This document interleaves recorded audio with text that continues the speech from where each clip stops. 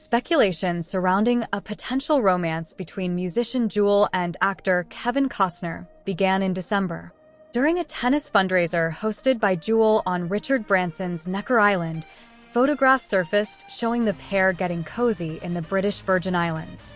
The images, obtained by TMZ, captured Costner, 69, wrapping his arms around Jewel, 49, while she addressed an audience through a microphone. Witnesses who attended the event couldn't help but notice the undeniable chemistry between Jewel and Costner. They were seen spending time together throughout the trip, and sources described their interactions as flirty and vibrant. Although they tried to keep their connection discreet, it was apparent to onlookers that something was going on between them. Jewel, in a recent interview with Elle, didn't dispel the rumors and actually spoke highly of Costner. She described him as a great person, and her visible blushing during the interview further fueled speculation. The public fascination with their alleged romance has been intense, with fans eagerly following any updates or hints about their relationship.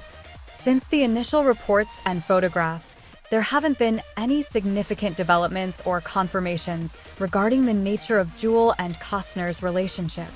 The story remains centered around the initial rumors and the observations made by attendees during their time together on Necker Island.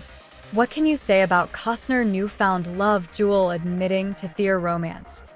Please subscribe to our channel for more updates.